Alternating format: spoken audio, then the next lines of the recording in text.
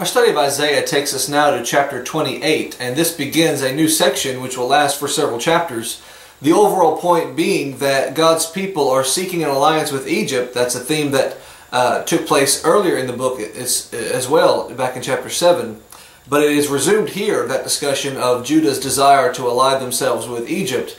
Uh, and for the next several chapters, God will express his disappointment, his frustration, and his promise of punishment against his people as a result of their lack of trust in him.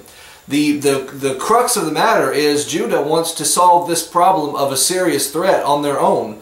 They want to work out their own solution to the situation and not just simply trust in God. Uh, and so with that said, they are seeking alliance, in this case with Egypt. And in chapter 28, God will write them to say, uh, you have made an alliance, but it is not with Egypt, it is with death.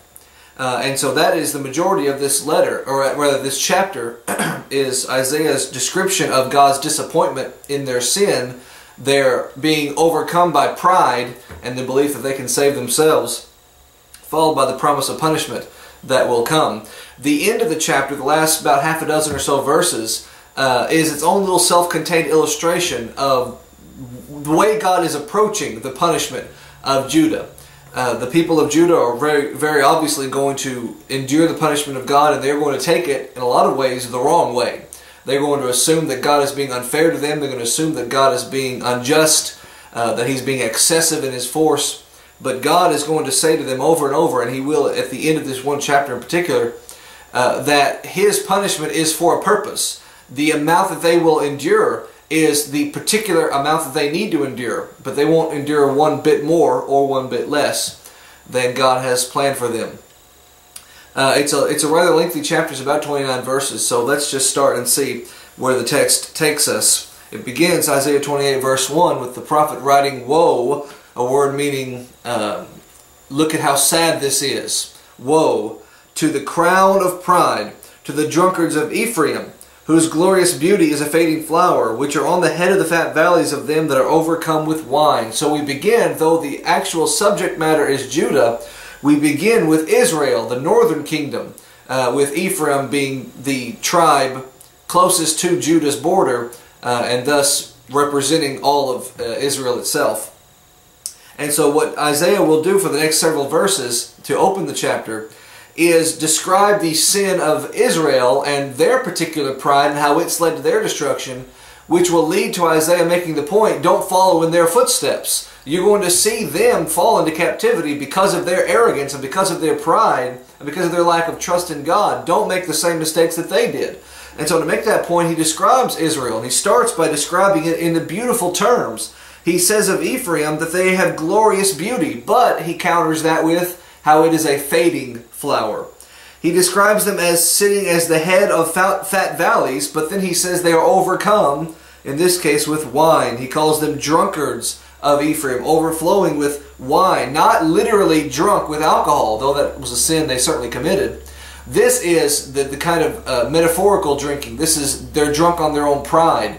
They are consumed by self. They have become drunk on their own uh, belief in themselves. And so he says of them, Woe to the crown of pride, to the capital city of the prideful nation, to Samaria in particular, uh, as he writes about uh, Israel. So to the, this crown city, Samaria, which sits uh, on a hill with valleys around it, as he described it here, the head of fat valleys, sitting as a hill under valleys, almost like a head on top of shoulders, um, resting above all with beautiful flowers crowning that uh, elegant area, but he says they're fading flowers he says that they are uh, not going to survive for very much longer. Overcome with wine. Well, again, once more, drunkenness, yes, was a problem, uh, as it will be said of Judah as well, but this is a metaphorical kind. This is, they're drunk on their own pride.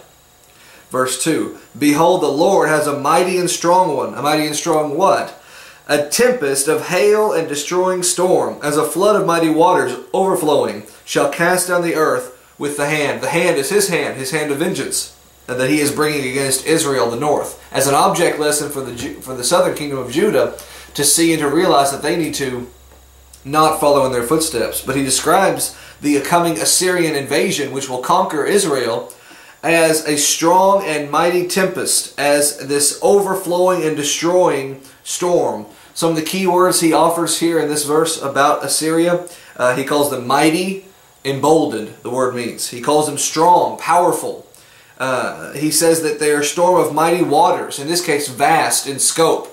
You can't run from them or hide from them. Overflowing. You cannot divert them or, or steer them away from you. They are coming for Israel. They will conquer Israel because they're moved by the hand of God, providentially attacking his people. Verse 3 The crown of pride, the drunkards of Ephraim shall be trodden under feet. Assyria's soldiers will stomp uh, stomp them into the mud. He, they will stomp over them, trodden them, tread them down under their feet. Calls them once more, as he did in verse 1, the crown of pride. He will again restate his description in the next verse, but here he reminds them that the sin of Israel on display here is their arrogance, their pride, their, their unjustified belief in their own superiority. The crown of pride led them to become drunkards of Ephraim. Verse 4 And the glorious beauty, once more calling Israel that, which is on the head of the fat valley, once more describing the city of Samaria, the capital. But he says again, It shall be a fading flower. Then he adds, And as the hasty fruit before the summer, which when he that looks upon it sees, while it is yet in his hand, he eats it up. He describes Israel from the perspective of the Assyrians as though they are a traveling person who sees a tree that is blooming and blossoming and whose fruit is, is already bearing on the tree. And before the fruit fully ripens and falls to the ground, he will run up and scoop it in his hand before it hits the dirt.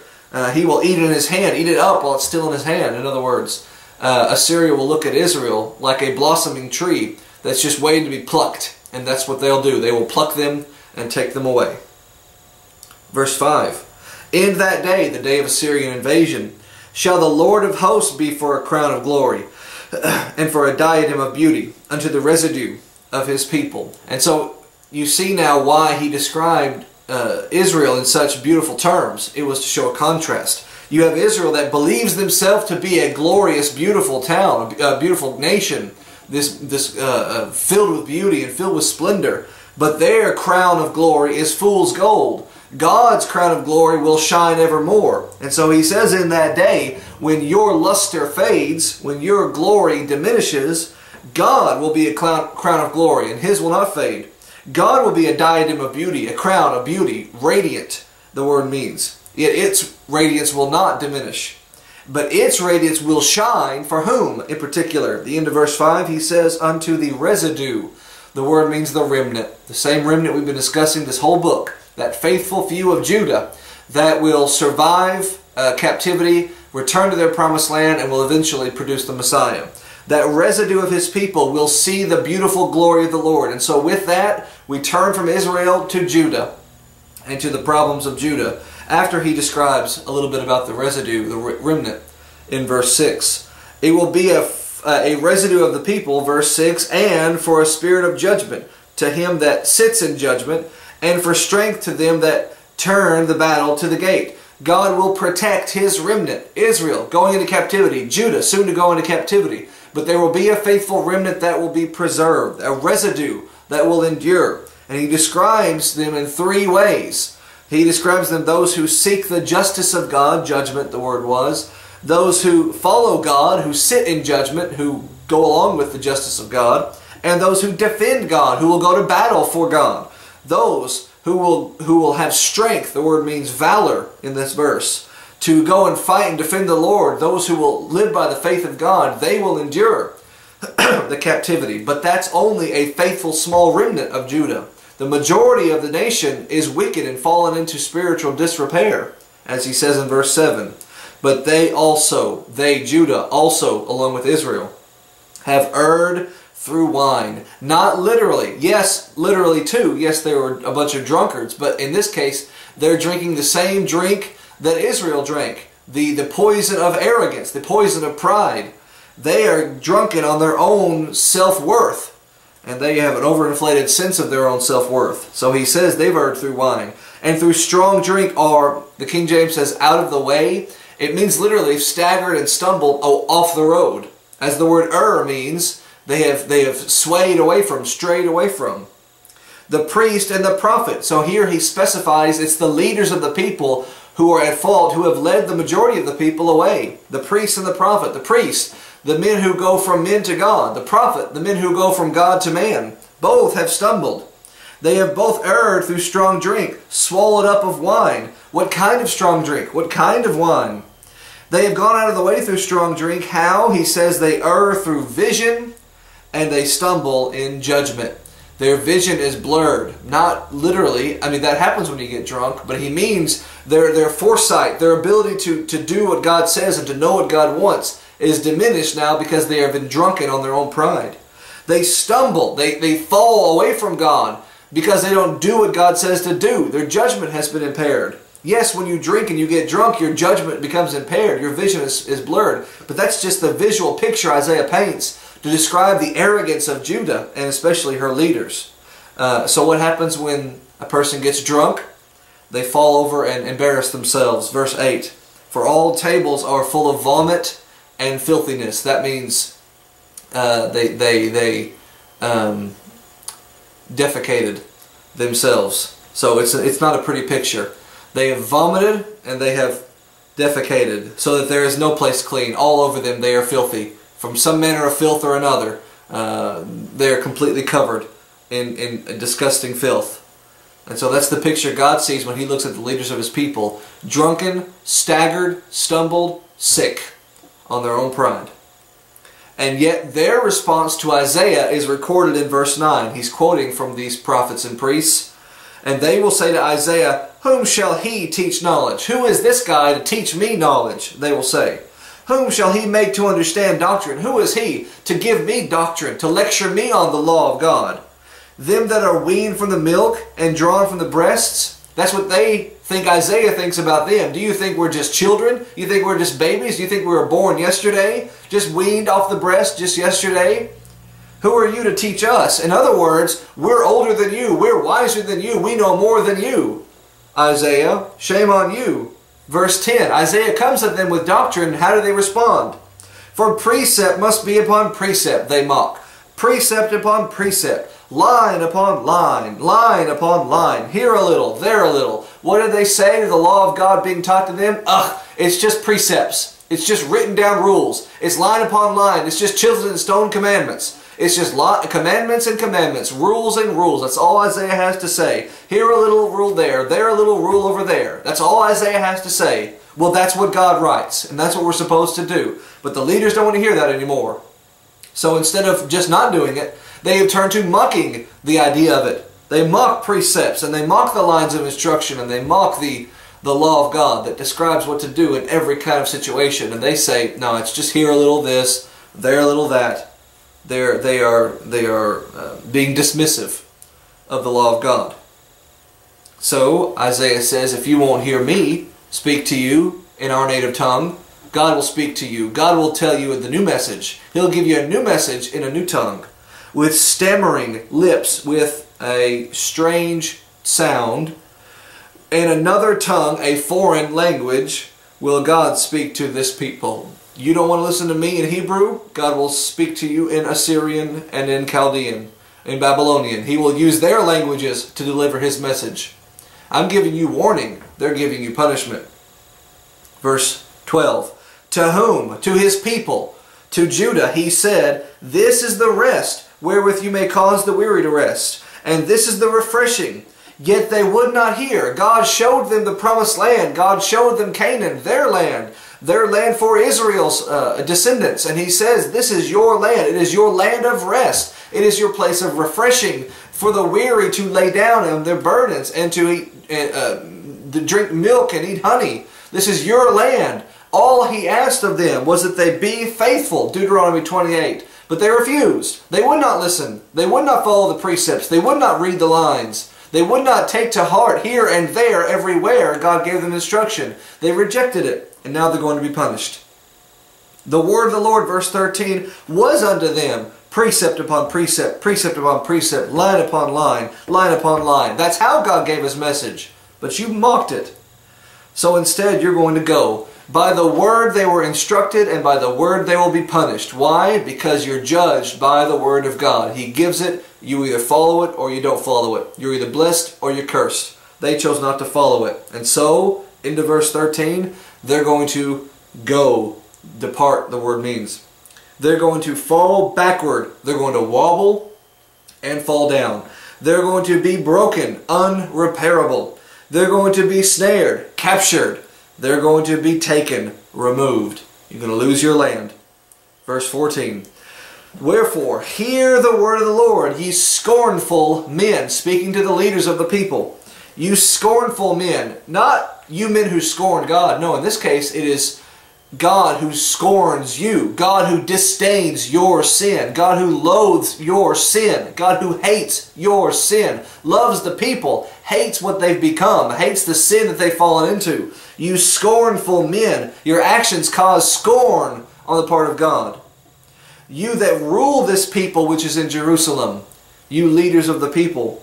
Verse 15, because you have said, God has promised punishment. God has said it from the beginning. If you don't repent, I'm going to send in an invader and they're going to take you out of the land. But what have they said? What has been their response? Have they turned to God? No. Have they repented and said they were sorry? No. None of that. They have said, we've made a covenant. They have said, we've made an agreement. They have said, when the overflowing scourge passes through, it shall not come to us because we have a refuge. They say, we have hid ourselves. Now, uh, there's a few key words that I left out in that verse because those are the words that Isaiah is adding. Those are the modifiers he's adding to the words that they have worded. They have come back in Isaiah and said, we don't worry about Assyria. We're not, we're not worried about that. We're not worried about God. You see, because we have a covenant. We have an agreement in place with Egypt. We have a covenant with them, not with God. We have a covenant with Egypt. We have an agreement with them. We have an agreement. We have a deal. We've struck a deal with Egypt. And so when the overflowing scourge, when that big bad threat of God, Assyria, comes to pass through our land, it's not going to come to us because we have a refuge with Egypt. We have hid ourselves in Egypt. They're going to protect us. We're going to team up and we'll stop Assyria. We're not worried. And Isaiah says, nope. You've made a covenant with death. You've got an agreement with the grave. The King James says hell, but that word is Sheol. It means the, the, the grave. You got a refuge, but it's of lies. It can't really protect you. You hid yourself, but in falseness, it can't really hide you. You've got nowhere to run and nowhere to hide. Your agreement that you struck a deal uh, to protect yourself with Egypt, it's, it's not going to last. As he'll say in a couple of verses, it's going to be disannulled. It's going to be broken. And in fact, when Sennacherib came and attacked J Jerusalem, Egypt was nowhere to be found. They didn't keep their end of the bargain you're you're relying on uh, you're relying on a, a, helper who's not going to be there for you. Now we come to verse 16, probably the most famous verse of the chapter, uh, one of the more famous verses of the whole book, perhaps. Therefore, thus says the Lord God, Behold, I lay in Zion for a foundation, a stone, a tried stone, a precious cornerstone, a sure foundation. He that believes shall not make haste. That's the King James translation of Isaiah 28, 16. Assyria is going to hurt you. Let's keep this in the context first. Uh, God has said to the people through Isaiah the prophet, Assyria is coming. He's, they're going to hurt you very badly, but they're not going to destroy you. Oh, I'm threatening it now, but when the moment comes, I'm going to drive them away because that's not my plan. That's not my will. That's not the way it's supposed to be done. Babylon's going to come in. They're going to hurt you. They're going to pull you in captivity. But Assyria, they're just going to hurt you. They're not going to take you away. They're going to bloody your nose. Babylon's going to knock you out. But Assyria's going to come in and hurt you, but they're not going to take you. 2 Kings 19. The angel's going to destroy the army of Sennacherib. But why? Why won't they take them? Because God has a plan and it involves the Messiah coming at just the right time, under just the right circumstances. And so this verse here is a prophecy of that Messiah to come. He says at the beginning of the verse, God, the Lord God, behold, I lay in Zion a foundation stone. For a foundation, he says, I've laid a stone. In other words, I'm building something, God says. Assyria is not going to destroy you because that would ruin the building. I am going to build something, lay a foundation. I'm going to lay a foundation of a stone. What kind of stone? He says it's a foundation stone. A foundation, something you build around.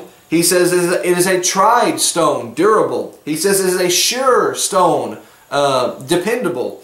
He calls it a precious stone, valuable.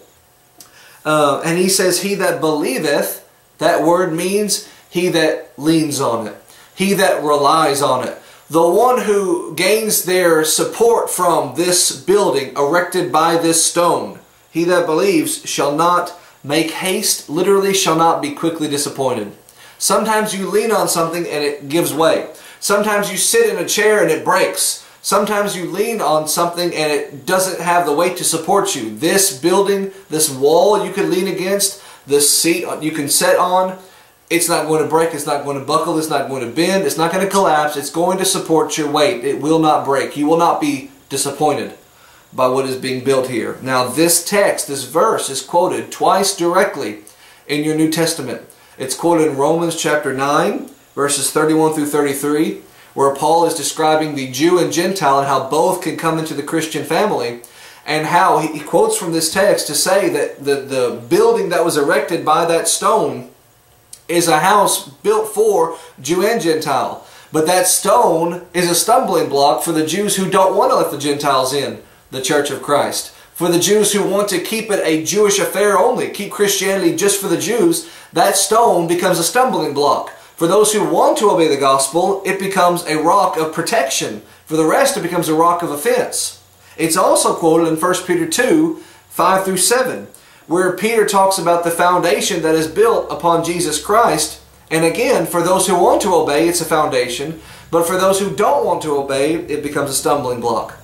Now, it's not directly quoted, but certainly that the idea is alluded to by Jesus in Matthew 16, 18, when he said uh, the, that what Peter knew of him was true, that, that he is the Son of God, the Christ, the Son of the living God, and that based on that truth, that foundation, he would build his church. And so he is the stone, the, the, the reality of his divinity is the foundation stone around which the church of Christ um, is built.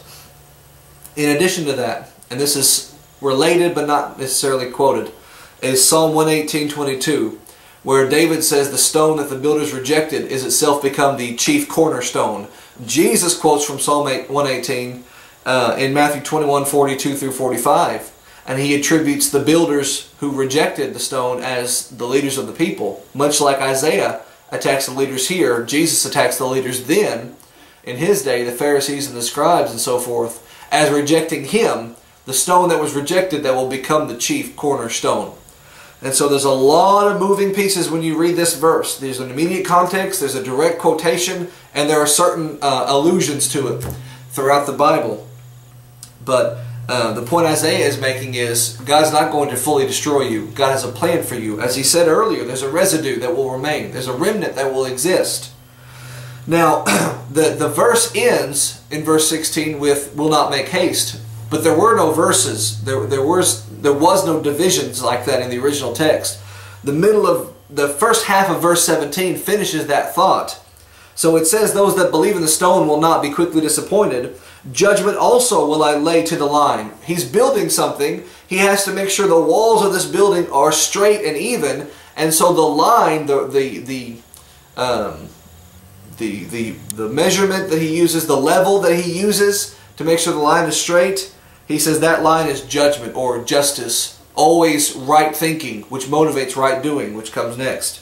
Righteousness will be the plummet or the plumb line when they would drop the weighted line down to make sure the wall was straight this way. It has to be straight this way, that's judgment. It has to be straight this way, that's righteousness. Right thinking, right doing. This will be a perfectly straight, perfectly built building. Not a physical building, that's just the illustration he's using, but it will be a perfectly straight construction of God's making, uh, uh, built by his Son Christ. This will be his church. The new thought begins in the middle of verse 17, which takes us back to 700 BC and the problem of Judah. And he says, And the hail shall sweep away the refuge of lies. That takes you back to verse 15. You think you're resting in a refuge, of, but it's of lies. And the hail of the storm that God is raining upon you, it's going to wash all that away, your refuge of lies. The waters of the, the flood of his judgment coming upon you is going to overflow every hiding place. You think you can hide, but you can't. He can find you in every nook and cranny and crevice. And your covenant, that agreement you have with death, will be disannulled. That agreement you have is going to be disannulled and lead you to death, in other words. Cancel the contract. Your agreement with hell, the grave, your agreement will not stand. Again, when uh, Sennacherib's army attacked, Egypt was nowhere to be found. When the overflowing scourge shall pass through, then you shall be trodden down by it. You think you can avoid it, but it's coming for you, and it's going to hit you hard. Assyria is going to attack. 19. From the time that it goes forth, it shall take you. The moment Assyria starts starting, Judah will start stopping. And there's not going to be any resistance. As soon as they decide to start, you're going to start falling. They will take you. Morning by morning, no relief, no rest. Day by day and night by night, no rest. There's no time when they stop, no time when they yield. They're going to keep pressing forward and keep attacking you. And it shall be a vexation only uh, to understand the report. In other words, when the, the news comes with every conquered town, with every conquered city, with every plot of land taken by Assyria, with every time the report comes to Jerusalem, to the capital, it's going to bring vexation to the leaders. Vexation means fear, agitation. They're going to realize their alliance has fallen apart. They're going to realize their, their treaty, their, their um, uh, covenant, uh, their agreements, all of it has, has disappeared, gone, and they have no leg to stand on. So all they'll have left is fear and agitation. 20. For the bed is shorter that a man can stretch himself on it, the covering narrower than that he can wrap himself in it. You try to make your bed and lie with Egypt, but it's, it's a twin bed. It's not big enough for the both of you. Egypt's lying in it.